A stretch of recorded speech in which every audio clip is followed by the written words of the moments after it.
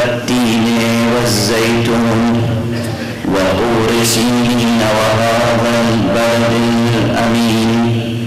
لقد خلقنا الإنسان في أحسن تقويم. صلى الله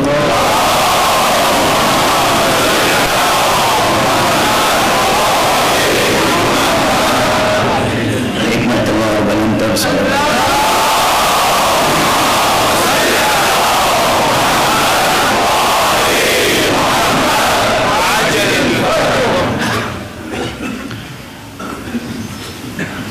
الله ایمانی اور مسلمانان حسینی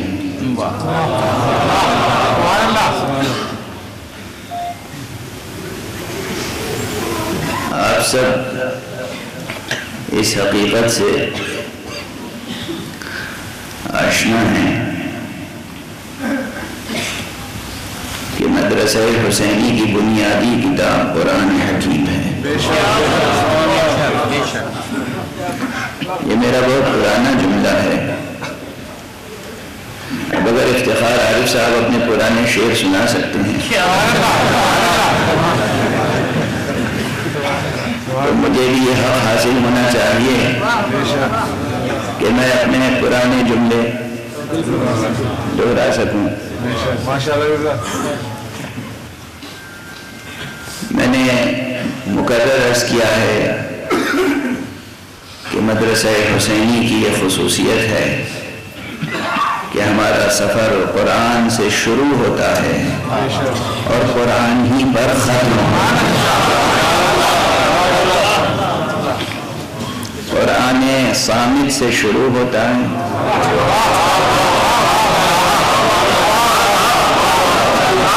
اور قرآن ناطق پر ختم ہوگا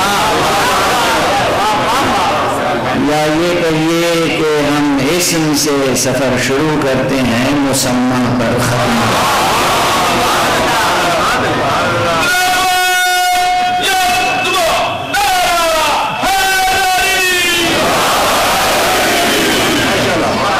ہمارا سفر اسم سے اسم تک نہیں رہتا۔ ہمارا سفر لفظ سے لفظ تک نہیں رہتا۔ ہم اسم سے مسمہ تک کا سفر۔ لفظ سے معنی تک کا سفر۔ قرآن سے اس کی تفسیر سے گزرتے ہوئے تعویل تک کا سفر مکمل کرتے ہیں۔ اور یہ فیضان ممبر مجلس حسین کا۔ اور کسی ممبر کو یہ خصوصیت حاصل نہیں ہے کہ اتنا طویل سفر کتنا طویل۔ اہل سخن موجود ہیں، علماء تشریف فرما ہیں، مدرسین حوضہ تشریف فرما ہیں۔ ایک جملہ عرض کر رہا ہوں۔ یہ خصوصیت ممبر مجلس حسینی کی ہے کہ یہ مکان میں رہتے ہوئے لامکان تک کا سفر طے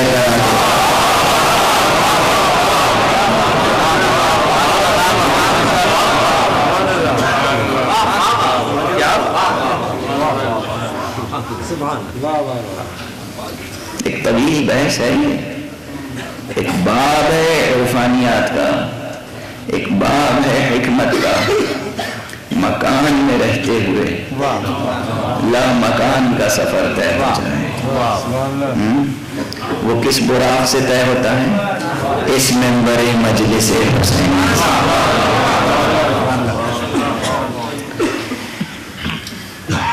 ہم نے اپنی بنیادی نصابی کتاب کا جو چیپٹر اس وقت کھولا ہے،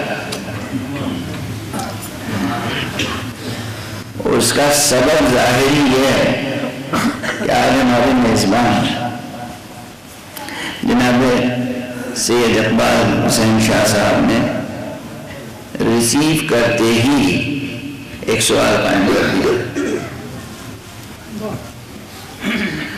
اور حقیقتاً ہمارا معاشرہ ایسا ہی ہونا چاہیے۔ کہ بیٹھ کر کچھ اور گفتگو کرنے کے بجائے جب بھی دو انسان بہم بیٹھے وہ بھی انسان مومن انسان مسلم وہ بھی حسینی مسلمان۔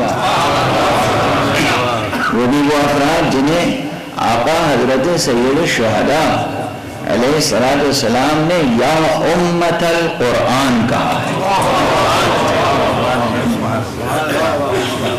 یہ یاد رکھیے گا، یہ میں مقرر یاد دہانی کراتا رہتا ہوں کہ روز عاشورہ، ابھی ضبط کیجیے گا، ابھی مجلس کا آواز ہے۔ روز عاشورہ حضرت سید الشہداء علیہ السلام نے جب اپنے اصحاب سے اپنے جانساروں سے خطاب فرمایا ہے تو کہا یا امت القرآن اے امت قرآن اور دشمنوں پر اتمام حجت کے لیے خطبہ ارشاد فرماتے ہوئے دشمنوں کو خطاب کیا ہے تو فرمایا یا امت السوء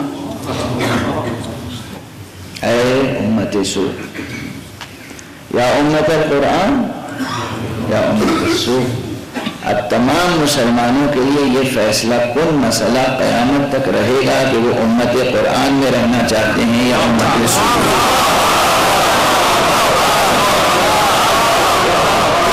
صلوات پڑھ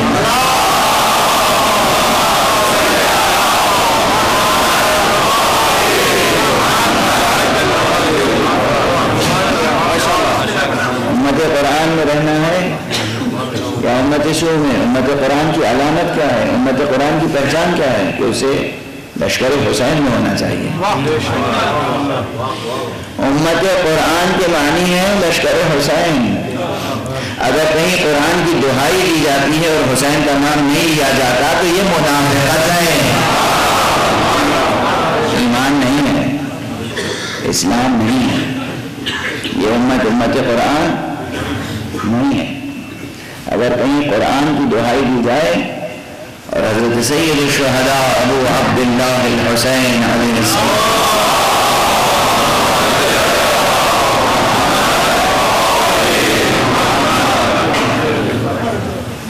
کی وفاداری نہ ہو، ان کی پاسداری نہ ہو، ان کی محبت نہ ہو، ان کا عشق نہ ہو، ان کی بیعت میں نہ ہو۔ مسلمان کو قیامت تک بیعت حسین میں رہنا ہے۔ اگر بیعت حسین میں نہیں رہے گا مسلمان تو قدم قدم پہ بیعت فاسق کرنی پڑے گی۔ قیامت تک مسلمان کو ایک ہی بیعت میں رہنا ہے۔ اور وہ بیعت حسین ہے۔ اگر بیعت حسین میں نہیں رہے تو قدم قدم پر نفس نفس۔ مرحلہ مرحلہ، منزل منزل، دام دام قدم قدم فاسقوں کی کمی نہیں ہے جو آپ سے بیعت لینا چاہتے ہیں۔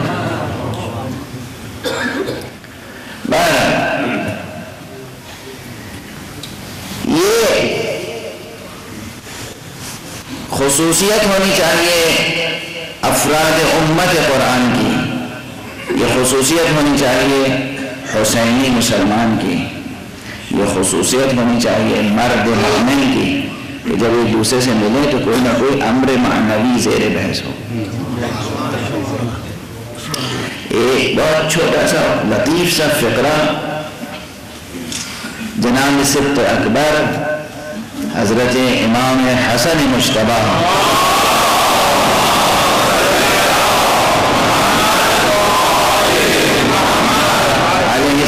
والسلام کا میں گزارش کر دوں بہت لطیف سا ہے حالانکہ مجھے گزارش نہیں کرنا چاہیے، اس لیے کہ ظاہر میرا مولویانہ ہے.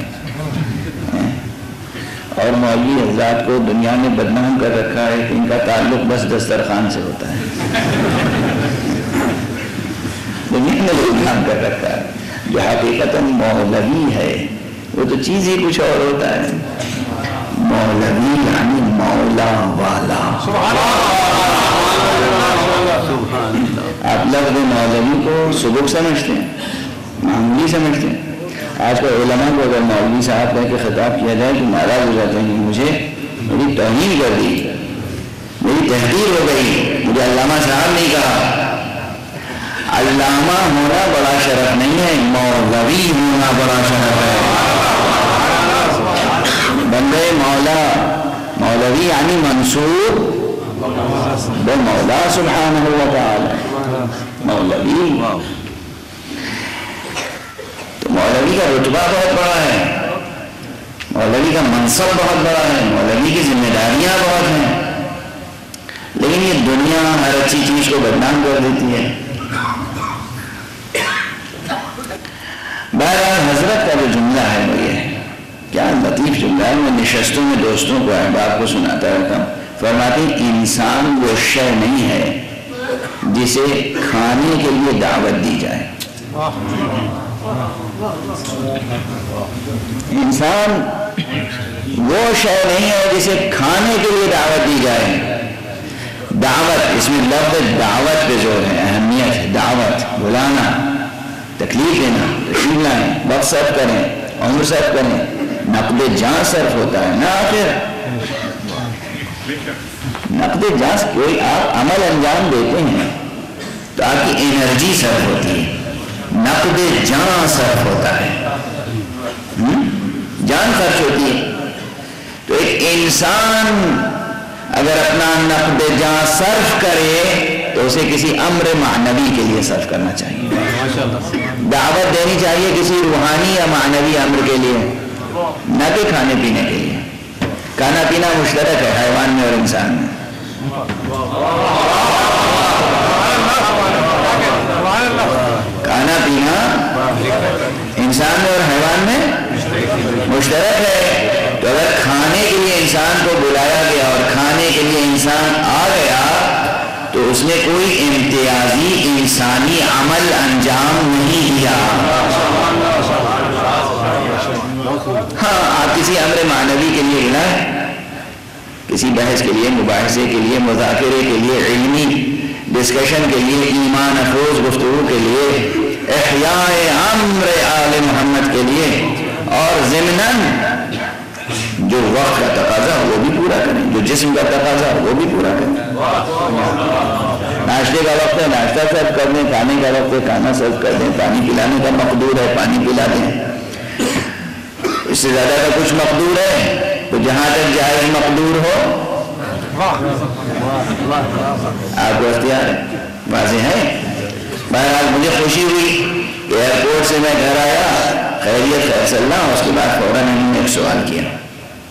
اور سوال یہ تھا کہ اللہ سبحانہ و تعالیٰ نے بین عظمت و بزرگی اللہ ہے، معبود ہے، خالق ہے، حقیقت الحقائق۔ وہی ایک حقیقت ہے اور اس کے مقابلے میں کوئی حقیقت نہیں ہے۔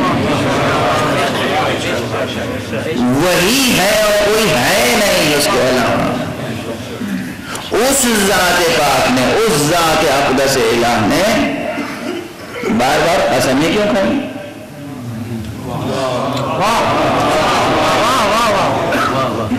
اس لیے کہ عام طور پر ہمارے ذہنوں میں کیا ہے؟ کہ ہم قسم کھاتے ہیں اپنی سچائی کی گواہی پیش کرنے کے لیے۔ قسم کس لیے کھاتے ہیں؟ تاکہ ہم اپنے دعوے پر اپنی صداقت کو ثابت کر سکیں۔ اگر کوئی اور شاہد نہیں ہے، اگر کوئی اور گواہ نہیں ہے، تو پھر قسم۔ اب یہاں پہ ٹھہر کے ایک بات ارض کروں۔ یہاں پر مفسرین نے کئی جہتوں میں خامہ فرسائی کی ہے۔ اور مجھے یہ بھی مسرت ہے، خوشی ہے واقع کہ یہ گفتگو شہر اسلام آباد میں چھڑ گئی ہے، جہاں اس عہد کی، اردو زبان کی ایک انتہائی اہم تفسیر لکھی جا رہی ہے، بلکہ مجھے آج بتایا گیا کہ تقریباً لکھی جا چکی ہے۔ دو جلدیں تو اس کی شائع ہو چکی ہیں۔ لیکن اور جلدیں بھی تقریباً مکمل ہو چکی ہیں اور وہ جلد شائع ہو جائیں گی اور وہ حضرت علامہ بزرگوار جناب شیخ محسن نجفی صاحب کی تفسیر الکوثر ہے۔ پروردگار ان کا سارے عاطفت اس امت پر، اس ملت پر برقرار رکھے۔ ان کو اور ان کے تمام رفقاء کار اور ان کے فرزند ارجمند اور ان کے جو اساتذہ ہیں جو یہاں بھی تشریف فرمائیں ان تمام حضرات کی توفیقات میں اضافہ فرمائیں اور آپ حضرات کو یہ توفیق ارزانی فرمائے کہ ان شخصیتوں سے آپ صحیح معنی میں علمی اور روحانی اور ایمانی استفادہ کر سکیں۔ بہرحال جہاں ایک عظیم و شان تفصیل لکھی جا رہی ہے، بلکہ لکھی جا چکی ہے، وہاں یہ گفتگو ہو رہی ہے کہ اللہ سبحانہ و تعالیٰ نے قرآن مجید میں پسندیں کیوں کھائیں؟ اب میں ایک جواب عرض کرنے سے پہلے ایک تمہید عرض کر دوں۔ تمہید ہے ادبی۔ مجھے یہ معلوم ہے کہ اس بجمے میں سب ادیب نہیں ہیں، سب شاعر نہیں ہیں، مگر آپ کو معلوم ہے، جب کوئی فضائے مجلس میں داخل ہو جاتا ہے، تو اس کا ذہن شاعرانہ ہو جاتا ہے۔ اس کا قلب شاعرانہ ہو جاتا ہے۔ شاعرانہ یعنی اس کا شعور بیدار ہو جاتا ہے۔ اور وہ بھی شعور اپنی تمام در لطافتوں کے ساتھ بیدار ہو جاتا ہے۔ شاعری کچھ نہیں ہے لطافت شعور کے لطیف ترین اظہار کا نام ہے شاعری۔ شاعری انسان کی ناطقیت کے انسان کی ناطقیت کے لطیف ترین اظہار کا نام ہے شاعری۔ انسان حیوان ناطق ہے نا؟ حیوان میں ناطق۔ اس کی فصل کیا ہے؟ ناطق ہونا، ناطقیت۔ اس ناطقیت کے جو لطیف مظاہر ہیں، وہی فنون لطیف ہیں۔ ناطقیت بشر کے۔ تو جب آپ فضائے مجلس میں داخل ہوتے ہیں فضائے مجلس میں۔ تو وہ لطف الہی شامل حال ہوتا ہے کہ آپ شاعر نہیں ہوتے ہوئے بھی شاعر ہوتے ہیں۔ آپ دانشور نہیں ہوتے بھی دانشور ہوتے ہیں۔ آپ ادیب نہیں ہوتے ہوئے بھی ادیب ہوتے ہیں۔ ایک عجیب تخلیقی انقلاب برپا ہوتا ہے فضائے مجلس میں۔ ان مجلسوں کی معنوی اور وجودی ارزش کو در کو دریافت کیجیے سمجھیے یہ مجلسیں کیا ہیں؟ سمجھیے یہ عزائے سید الشہدہ کیا ہے جو کچھ آپ سمجھتے ہیں وہ اس سے کم ہے جو حقیقت میں یہ ہے۔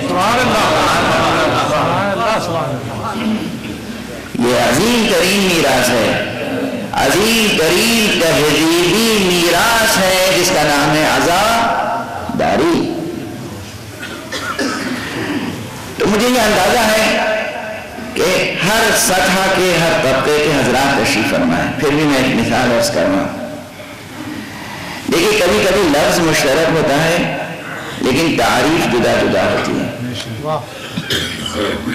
تو یہ ایک لفظ مشترک ہے۔ اب اتفاق سے یہ بھی میری پرانی مثال ہے۔ یاد آ گئی تو عرض کر دوں۔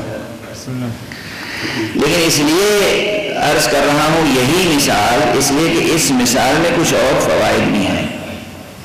کسی حکم شریع کا بھی مثلا تذکرہ ہے۔ مٹی، خاک، یہ مٹی، یہ آپ اٹھائیں۔ اور یہ لے کے آپ کمہار کے پاس چلے جائیں۔ اور پوچھیں یہ کیا ہے؟ وہ کیا تعریف پیش کرے گا؟ کمہار مٹی کا برتن بنانے والا مٹی کے کھلونے بنانے والا وہ کہے گا، یہ را میٹیریل ہے، اس سے ہم ظرف بناتے ہیں، برتن بناتے ہیں، کھلونے بناتے ہیں۔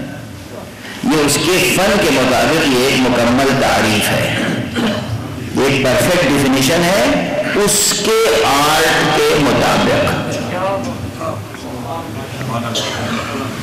وہی مٹھی بھر خاک تبدیل کے بغیر جو کی توں وہی بے ہی، بے نفس ہی، بے جن سے ہی، وہی لے کر آپ کسی سائنسدان کے پاس چلے جائیں۔ جو کیمسٹری اور فزکس کا ماہر ہو اسے کہیں یہ کیا ہے؟ وہ کہے گا کہ یہ میٹر ہے سالڈ اسٹیج میں ہے مکسچر ہے، اس میں بہت سے ایلیمنٹس ہیں۔ وہ اس کی بالکل سائنٹیفک ڈیفینیشن بیان کرے اس کی ڈیفینیشن میں اور اس کی ڈیفینیشن میں ایک لفظ مشترک نہیں ہے، مگر حقیقت ایک ہے۔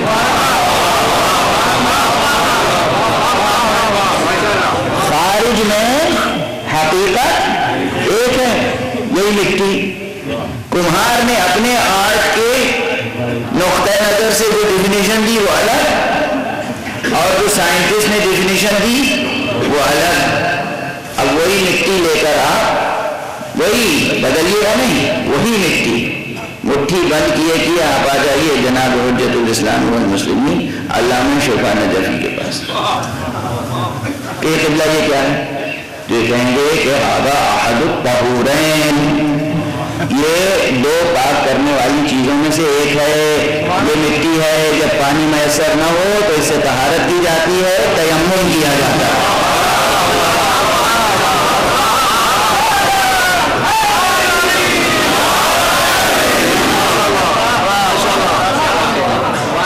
چیز ایک ہے۔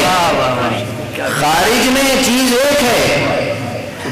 لیکن جب اینگل ڈفرینٹ ہوتے ہیں، جب آرٹ ڈفرینٹ ہوتے ہیں، جب ڈسپلن ڈفرینٹ ہوتی ہے، جب برانچ آف نالج ڈفرینٹ ہوتی ہے، جب آبزرور کی پوزیشن ڈفرینٹ ہوتی ہے، تو اس چیز کی ڈیفینیشن تبدیل ہو جاتی ہے۔ واضح ہے؟ جس طرح خارجی حقائق میں یہ ہے کہ چیز ایک ہوتی ہے لیکن اس کی تعریف بدل جاتی ہے، اسی طرح کبھی کبھی عالم لغات و اصطلاحات میں اصطلاح ایک ہوتی ہے، مگر اس کی تعریف بدل جاتی ہے۔ قسم، فقہ میں قسم کا تصور کچھ اور ہے، ادب میں قسم کا تصور کچھ اور ہے۔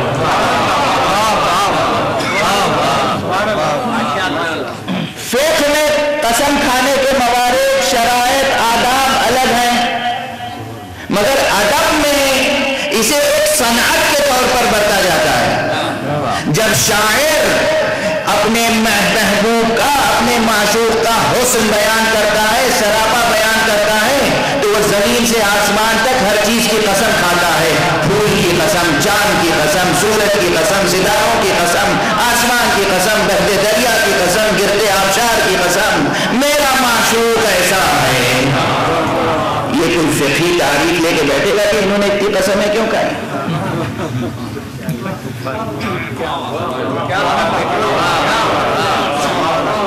واضح ہے؟ کوئی پوچھے گا کہ آپ قسم کیوں کھا رہے ہیں؟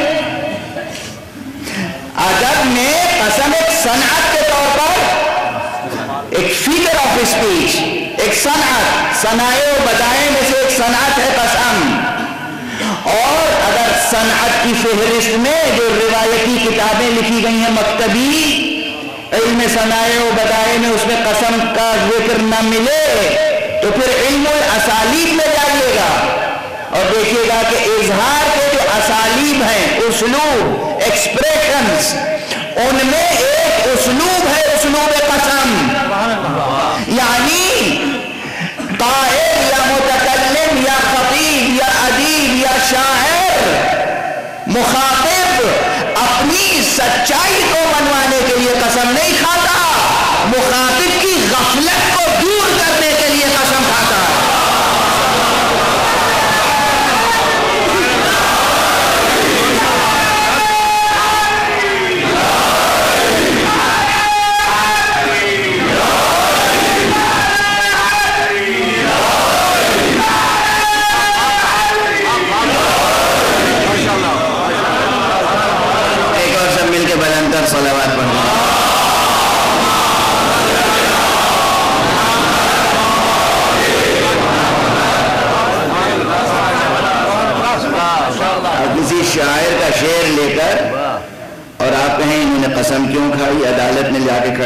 قسم کیوں کھائی تو یہ یہی تو کہیں گے کہ شعر مراب مدرسے کے برد ارے میرا شعر مکتب لے کے کون چلا گیا؟ مدرسے لے کے کون چلا گیا؟ وہاں قسم، اس کی افادیت، اس کی معنویت، اس کا ریلیونس وہ ایک صنعت کے طور پر صنعت ادبی ہے۔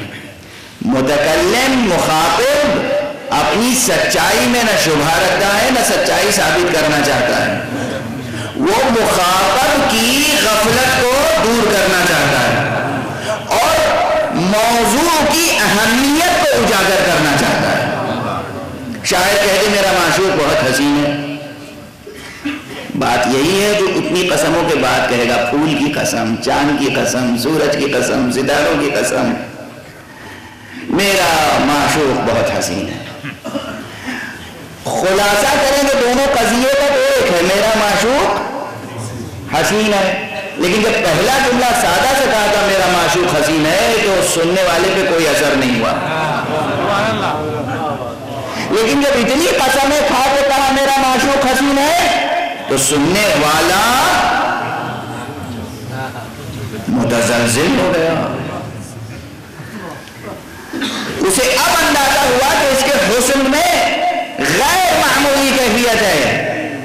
پروردگار عالم اس لیے کھائی ہیں کہ بندوں کی غفلت دور ہو موضوع کی اہمیت سامنے آئے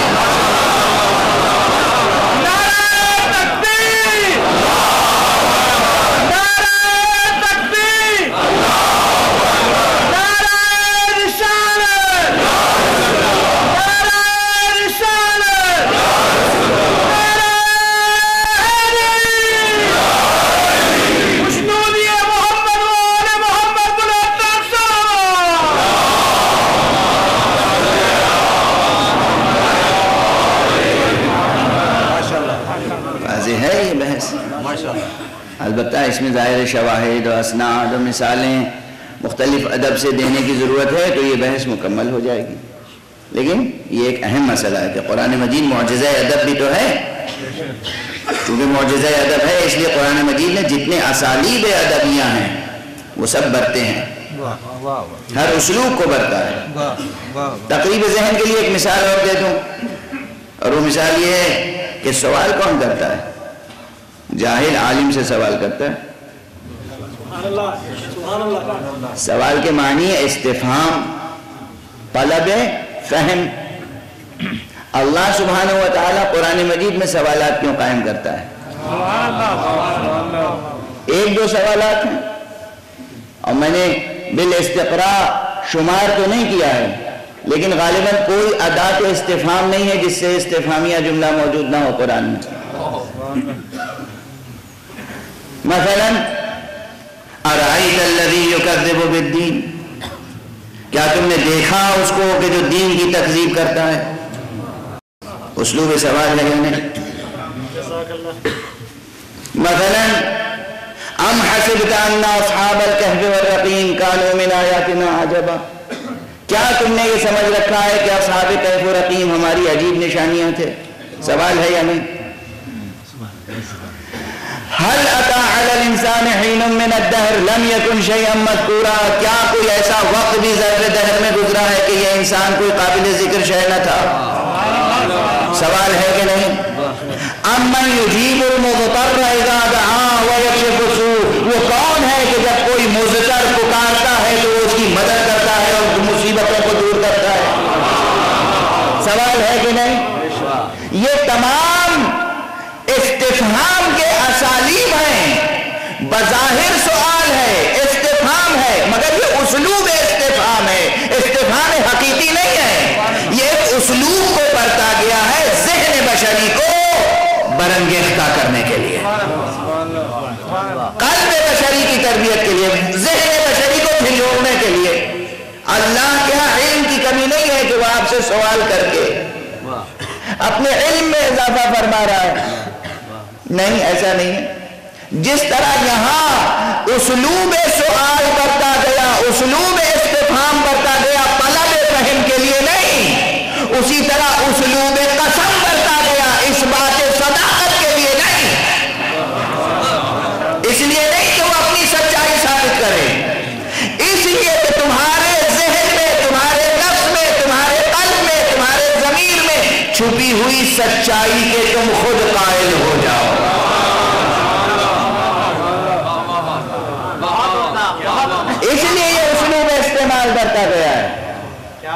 اسلوب اسلوب استفام و اسلوب قسم استعمال کیا گیا قسم کو برتا گیا۔ البتہ اللہ اکبر، قرآن ہے قرآن۔ ہم جیسا کوئی قرآن کی، کے ظاہر کی گہرائیاں نہیں سمجھ سکتا۔ باطن کی گہرائیاں کیا سمجھے؟ ٹھہریے گا اور کیجیے گا۔ ساتھ ساتھ سفر جاری رہے۔ ایسا نہ ہو میں آپ سے آگے نکل جاؤں۔ ایسا نہ ہو آپ مجھ سے پیچھے رہ جائیں۔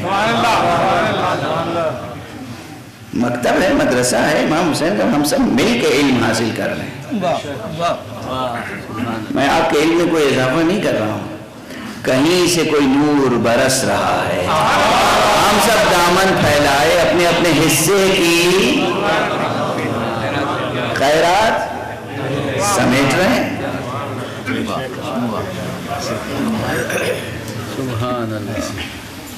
قسمیں اللہ۔ سبحانہ و تعالیٰ نے کھائیں ایک تو اسلوب ظاہر اسلوب ادبی ہے۔ اسلوب ادبی اسلوب خطاب ہے مخاطب کو جھنجھوڑنے کے لیے۔ لیکن کہاں کس چیز کی قسم کھائی؟ مثلا کہیں کہا وَالشَّمْسِ وَضُحَاهَا وَالْقَمَرِ إِذَا تَلَاهَا وَالنَّهَارِ إِذَا جَلَّاهَا والليل إذا يخشاها والسماء وما بناها والأرض وما طحاها ونفس وما سواها یہ ایک تسلسل میں قسمیں کھائی جا رہی ہیں تو کیوں؟ اور چیزوں کی یہاں کیوں نہیں کھائی گئی؟ کہیں وہ تور تور کی قسم کھائی گئی۔ تو کیوں؟ کہیں جناب والا وطین والزیتون، وطور سینین وحاد البلد الامین اس کی قسم کھائی گئی تو کیوں؟ یہاں بحث کی جا سکتی اور یہاں بحث کرنا لازم ہے۔ لیکن ان بحثوں سے پہلے بھی ایک چیز جو جو بظاہر ابھی تک مفسرین کی کہ حسن التفات سے محروم رہی ہے۔ ایک رخ ایسا ہے جو اب تک مفسرین کے حسن التفات سے محروم رہ گیا ہے، وہ رخ یہ ہے کہ اس کو بھی پہلے ادبی مثال دے کر واضح کروں۔ اب یہ جناب افتخار عارف صاحب جہاں آ جاتے ہیں، وہاں میری رگے شاعرانہ پھڑکنے لگتی ہے ویسے تو اور بہت سے حضرات ہوں گے، لیکن انہیں دیکھ کے کچھ زیادہ ہی پھڑکتی ہے۔ تو اس لیے میں ادبی مثالیں عرض کر رہا ہوں۔ آپ حضرات نے میر انیس علیہ الرحمہ پہ مقالات پڑھے ہوں گے بڑے بڑے نقادوں کے، ناقدین سخن۔ مرزا دبیر علیہ الرحمہ کے مرثیوں پر بڑے بڑے ناقدین کے مقالے پڑھے ہوں گے۔ لٹریری کرٹیسزم ادبی تنقید، غالب پر پڑھے ہوں گے، اقبال پر پڑھے ہوں گے۔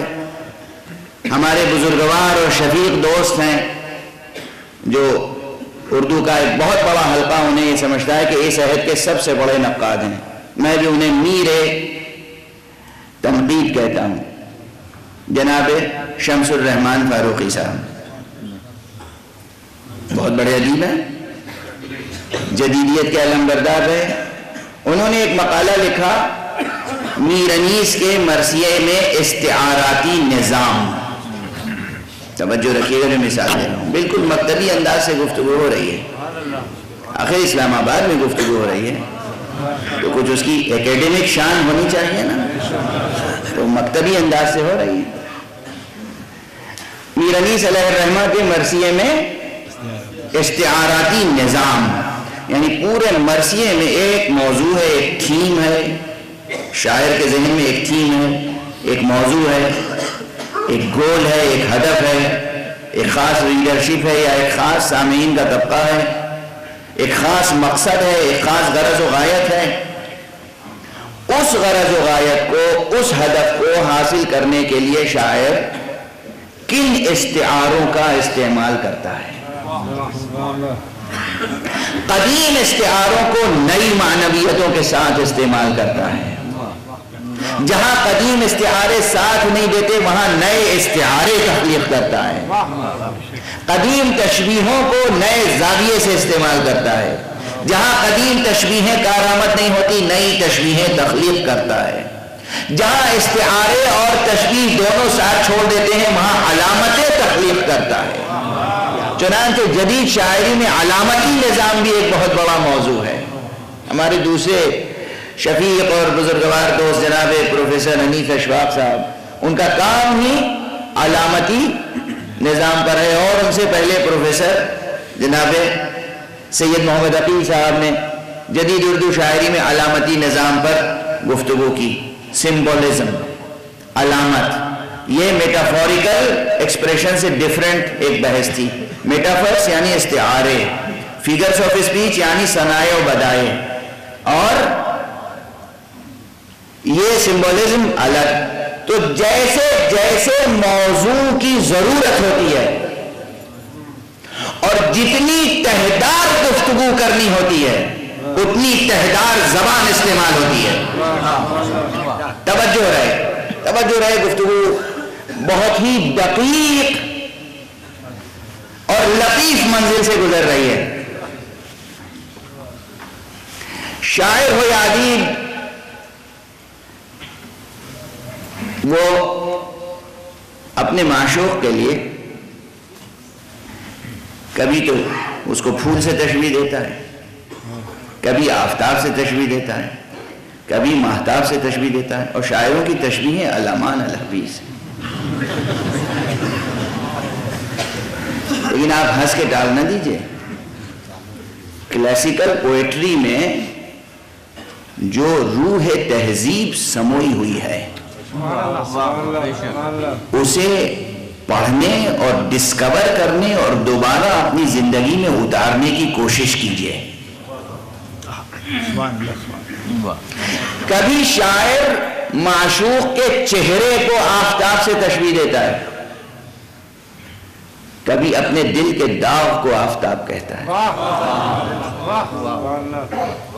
کبھی دل کے داغ کو چراغ کہتا ہے۔ داغ کو چراغ کیوں کہتا ہے؟ داغ کو آفتاب کیوں کہتا ہے؟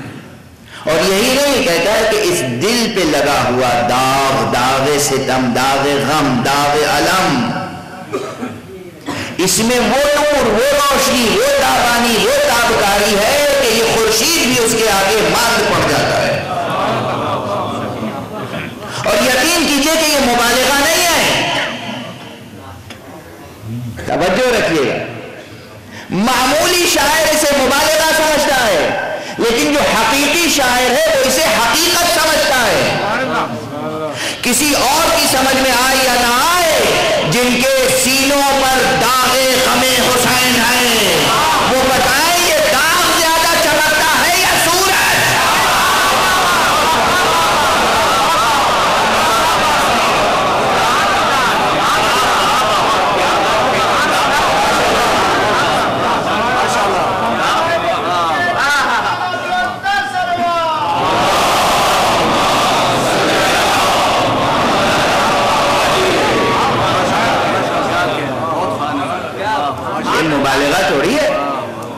کسی کو کیا خبر کہ یہ داغ غم حسین، اس میں کتنی تابانی ہے، کتنی نورانیت ہے، کتنی تابش ہے، کتنی تابکاری ہے، ریڈیشن ہے۔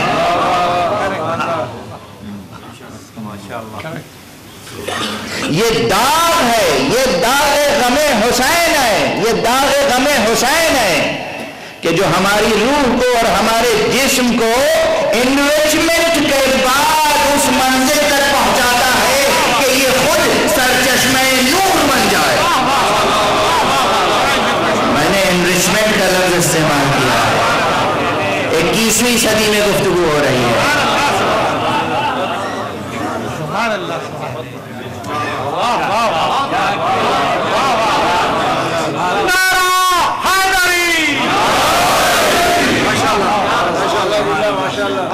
ایران پر پابندی لگا دو گے کہ یورینیم کا انریچمنٹ نہ کریں، یہاں ہر امام بارگاہ میں انریچمنٹ ہو رہا ہے۔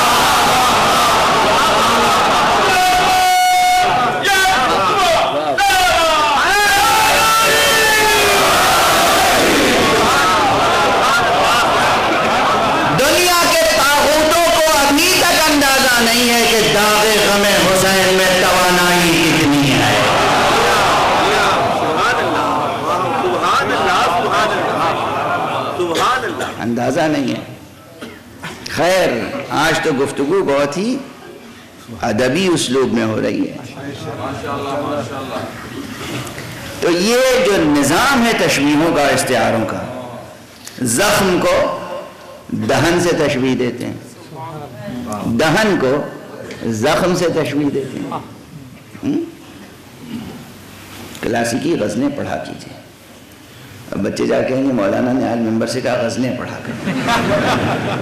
ہاں ہاں غزلیں پڑھا کر۔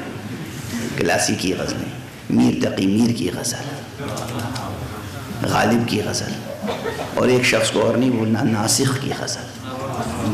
اس کی اپنی اہمیت ہے۔ حافظ کی غزل۔ فارسی کا اگر ذوق ہے، حافظ کی غزل۔ ہاں، اور یہ غزل کیوں کہہ رہا ہوں؟ غزل پڑھو، نظم پڑھو، ادب پڑھو۔ جب ادب پڑھو گے تو ادب آئے گا۔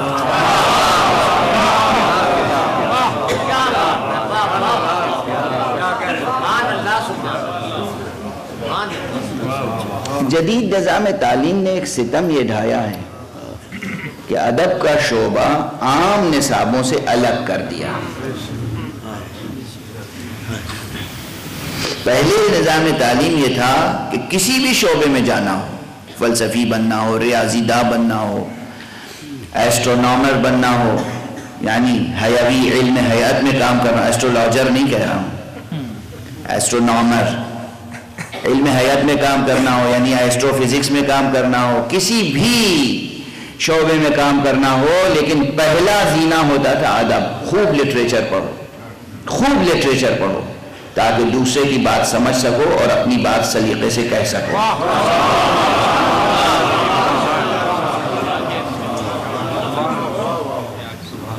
خوب لٹریچر پڑھو۔ پہلے تمہیں اسالیب بیان پر قدرت ہونی چاہیے۔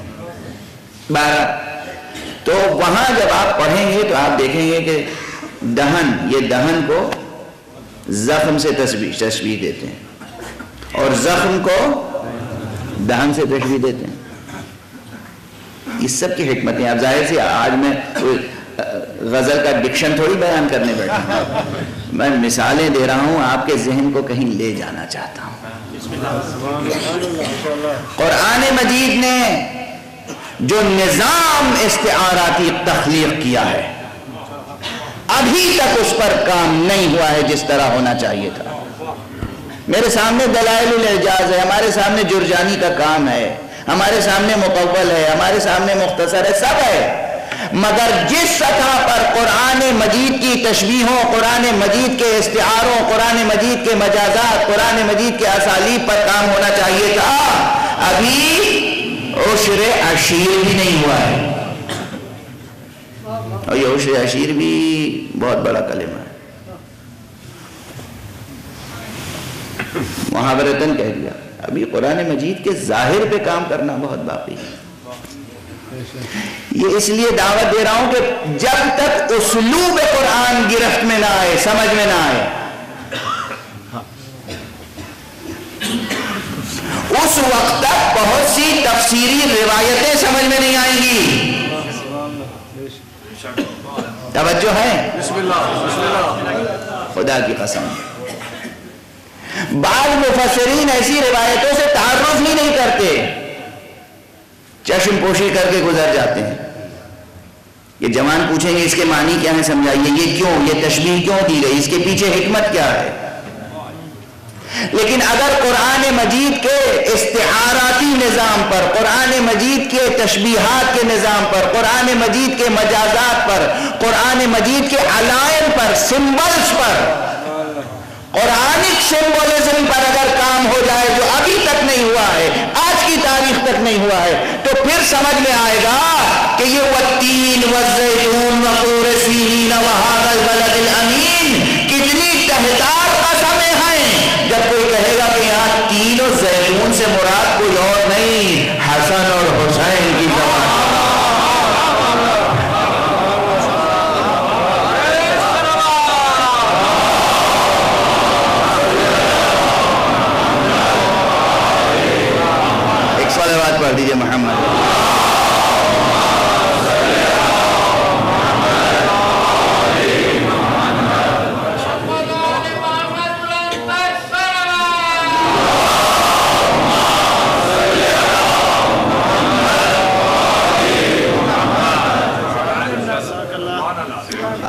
کتابیں اٹھا کے دیکھیں، تفسیروں کے الگ الگ طائفے بن گئے ہیں۔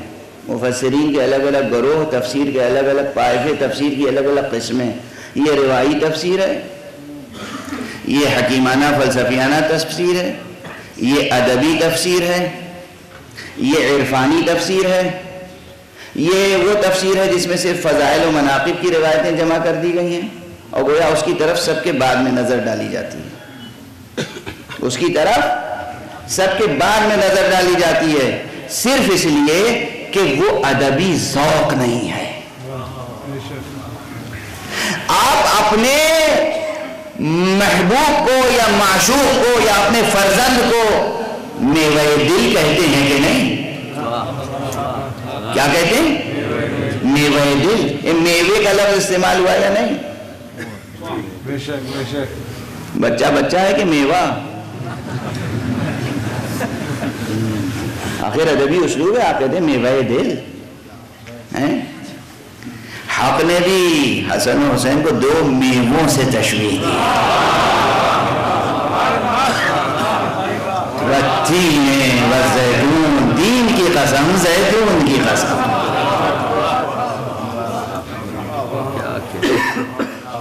اس روایت کو رد نہ کر دیجیے گا، یہ نہ کہی کہ سند ضعیف ہے متن سمجھ میں نہیں آتا، منسجم نہیں ہے۔ سارے بیانات منسجم ہیں۔ حیدرآباد سے میں ابھی میں گفتگو کر کے آیا ہوں سورہ مبارکہ نبا پر، جہاں پروردگار نے فرمایا ہے کہ عَمَّ يَتَسَاءَلُونَ عَنِ النَّبَئِ الْعَظِيمِ الَّذِي هُمْ فِيهِ مُخْتَلِفُونَ۔ کَلَّا سَيَعْلَمُونَ ثُمَّ كَلَّا سَيَعْلَمُونَ۔ دنیا کے تقریباً 99.99% مفسرین نے نبع عظیم سے مراد صرف قیامت کو لیا ہے۔ آخرت، قیامت آخرت قیامت آخرت، قیامت۔ اس طالب علم نے طالب علمانہ آجزی کے ساتھ اس روایت کو پیش کیا ہے۔ روایت ہے موجود۔ جہاں معصومین نے کہا ہے نبع عظیم سے مراد قیامت ہے، مگر اس نبع عظیم سے مراد اصل جان قیامت ہے۔ شہنشاہ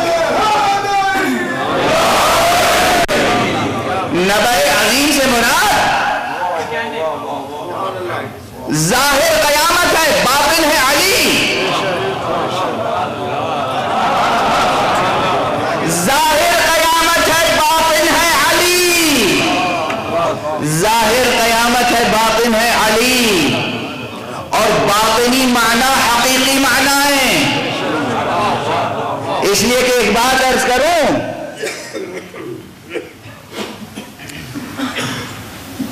اب ظاہر ہے وہ تمام مطالب جو حیدرآباد میں گزارش کر کے آیا ہوں یہاں تو دہرانا مقصد نہیں ہے۔ یہ تو بس مثال میں آ گیا فقرہ۔ کہ قرآن مجید کے اسلوب کو سمجھنے کے لیے اور پھر روایات اہل بیت کو سمجھنے کے لیے ہمیں کتنا تعمق درکار ہے۔ دونوں تعمق ادبی ریاض بھی چاہیے حکیمانہ ریاضت بھی چاہیے۔ اور عرفانی مجاہدہ بھی چاہیے۔ ادبی اسالیب پر بھی رکھو۔ منطق اور حکمت و فلسفہ و برہان پر قدرت ہو۔ اور مطالب عرفانی بھی نظر میں ہو۔ تزکیہ نفس ہو چکا ہو۔ حجل جامع اعتقاف ہو۔ تب سمجھ میں آتی ہے بات۔ کہ حق کا اسلوب کلام کتنا تہدار ہے۔ یاد رکھیے گا یہ فقرہ مقرر پہلے بھی عرض کر چکا ہوں، ہمیشہ عرض کرنا پڑے گا کہ قرآن مجید قیام قیامت تک آنے والے ہر ہر فرد بشر کی سطح ذہنی پر اتر کر اس کو مخاطب کرتا ہے۔ کیا اعجاز ہے قرآن کا؟ کیا اعجاز ہے قرآن کا؟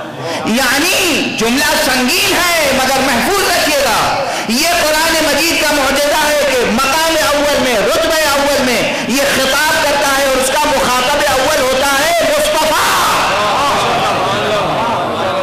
اور یہی قرآن مقام دوم میں خطاب کرتا ہے، کسی اور سے۔ یہی قرآن عموم مردوں سے، عام لوگوں سے خطاب کرتا ہے۔ یہی قرآن سلمان سے مخاطب ہوتا ہے مخاطب ہوتا ہے یہی سلمان ابو جہل سے مخاطب ہوتا ہے۔ سلمان کو مجدہ سناتا ہے، ابو جہل پہ حجت تمام کرتا۔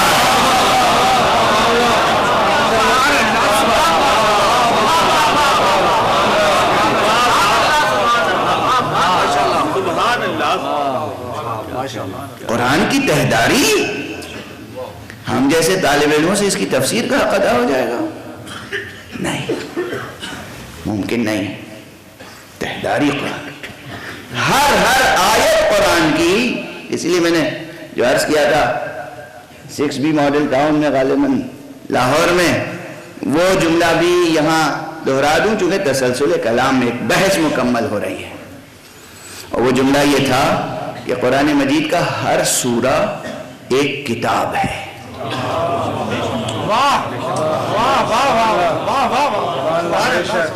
بلکہ قرآن مجید کی ہر آیت ایک کتاب ہے۔ بلکہ قرآن مجید کا ہر حرف ایک کتاب ہے۔ پھر آپ کہیں گے مبالغے کی کوئی حد ہوتی ہے؟ آپ کو معلوم نہیں کہ مبالغے کے معنی کیا ہے مبالغے کے معنی ہے حد سے آگے بڑھا کر بیان کرنا۔ آپ کو قرآن کی حد معلوم ہو تو بتا دیجیے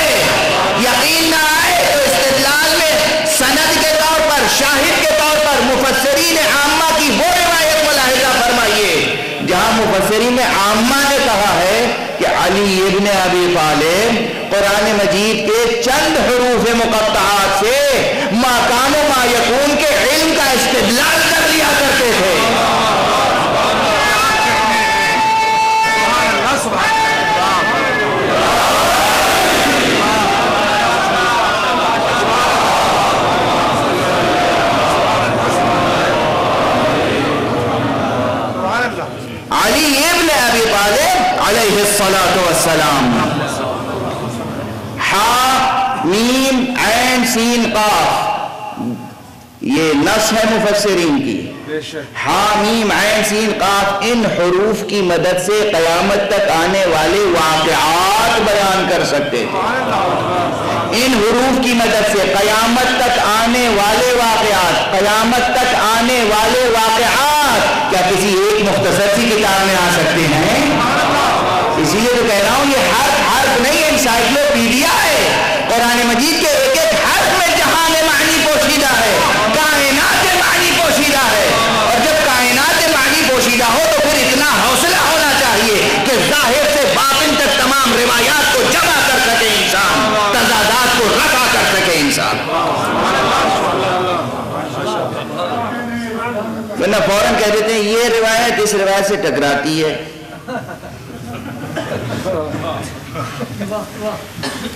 کچھ نہیں ٹکراتی۔ اہل بیت اطہار علیہم الصلاة والسلام۔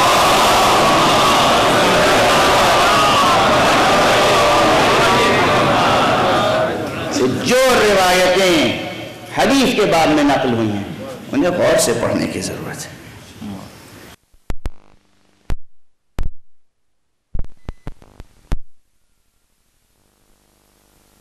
افتخار عارف صاحب تشریف فرمائیں یہ میری ترجمانی ادھر بھی کریں گے انشاءاللہ۔ ادھر بھی کریں گے۔ اس لیے کہ میں یہ سمجھتا ہوں کہ اتنے دنوں سے یہ فضائے مجلس میں سانس لے رہے ہیں۔ اب تک ان میں وہ حریت پیدا ہو چکی ہے کہ یہ حر ابن یزید ریاہی کو اپنا رہنما قرار دے سکے۔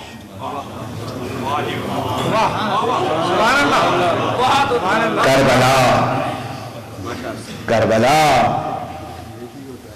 کربلا.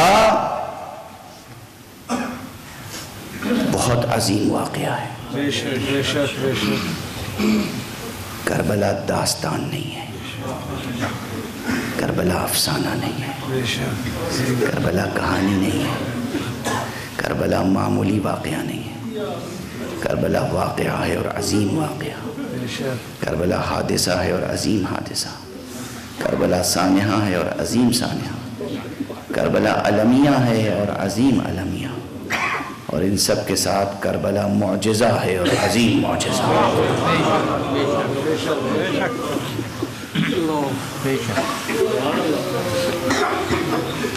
کربلا عظیم معجزہ ہے اور کربلا کا ہیرو میں وہ لفظ استعمال کر رہا ہوں جو جدید لٹریچر میں، ادب میں استعمال ہوتا ہے لوگ سمجھتے ہیں کربلا کا ہیرو امام حسین ہے۔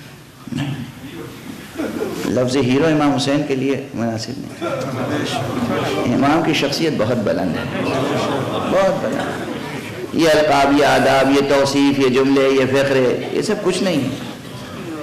حسین کو کسی وصف اضافی کی ضرورت نہیں۔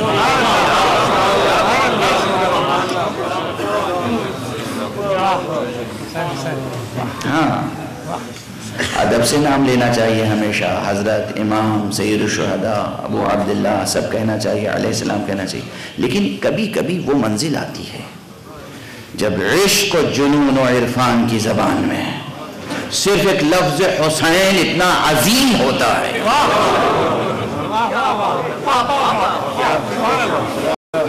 تو اس کے ساتھ کسی اور کلمے کی گنجائش، ہر کلمہ چھوٹا پڑ جاتا لفظ امام حسین کے قد سے چھوٹا ہے۔ حسین کا قد بہت بلند ہے۔ لفظ شہید حسین کے قد سے چھوٹا ہے۔ حسین کا قد بہت بلند ہے۔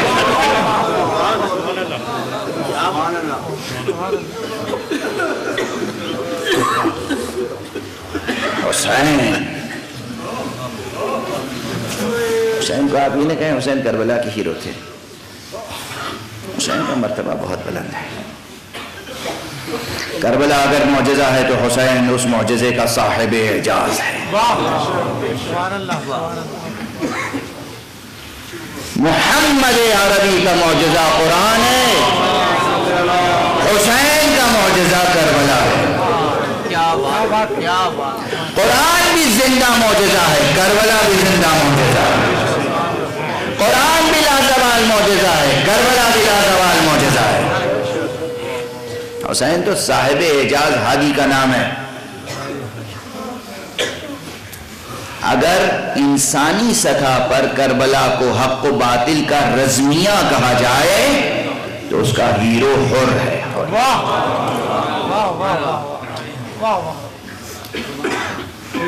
حر ہے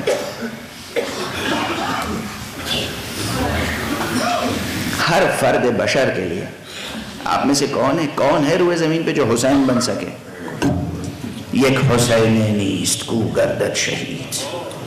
ورنہ بسیارند در عالم یزید. ایک حسین نہیں ہے جسے شہید کر دیا گیا.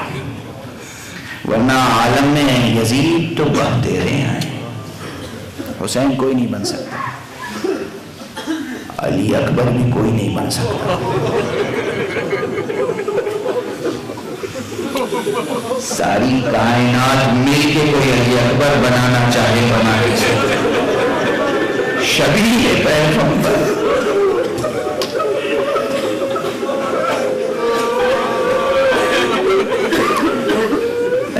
کچھ پڑھنا چاہ رہا تھا آج۔ آج کی مجلس تمہید میں گزر گئی۔ کل کچھ گزارش کروں گا۔ تمہید طویل ہو گئی، لیکن تمہید کا ہر کلمہ یاد رکھیے گا۔ چونکہ آپ کے درمیان سے خود گریے کی آوازیں بلند ہو گئی اس لیے آپ مجلس کو طول دینا مناسب نہیں ہے۔ علی اکبر۔ حسین بنانے کے لیے زہرا چاہیے۔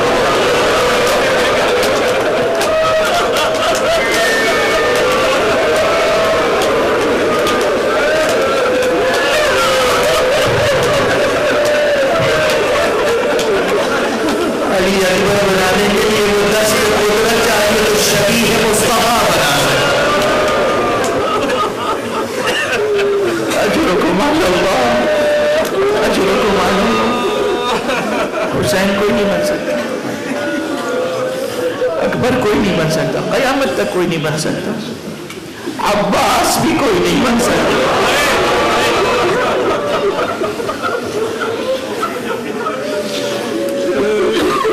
عباس بنانے کے لیے علی چاہیے۔ حسین بنانے کے لیے فاطمہ چاہیے۔ عباس بنانے کے لیے علی چاہیے۔ چھوٹے چھوٹے جملے ہیں، دعویٰ بھی ہے، دلیل بھی کوئی عباس نہیں بن سکتا قیامت تک کوئی اکبر نہیں بن سکتا قیامت تک ہمارے اوڑاب کے جیسے انسانوں کے لیے ہیرو ہے اور جو بتاتا ہے کیسے باطل پہ ٹھوکر ماری جاتی ہے کیسے حق کے خیمے میں جایا جاتا ہے اجرکم علی اللہ بس گفتگو ختم ہو گئی طبیعت بھی اس سے زیادہ کی متحمل نہیں تھی۔ مگر ایک جملہ اور کہنے کا جی چاہتا ہے۔ یہ ایام وہ ہیں جن ایام میں حضرت علی زین العابدین۔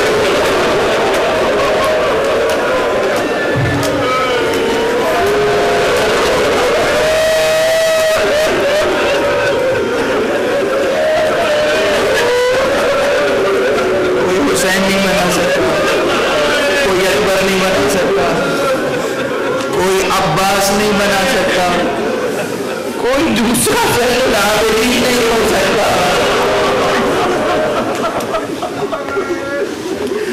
کوئی دوسرا سید اجاز نہیں ہو سکتا۔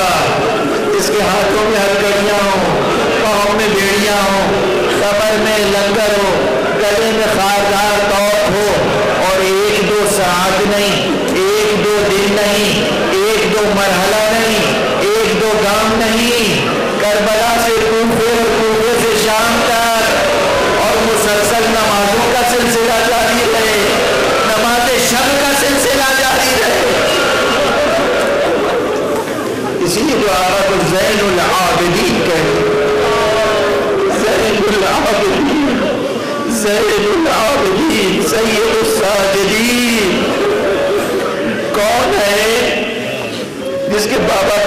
que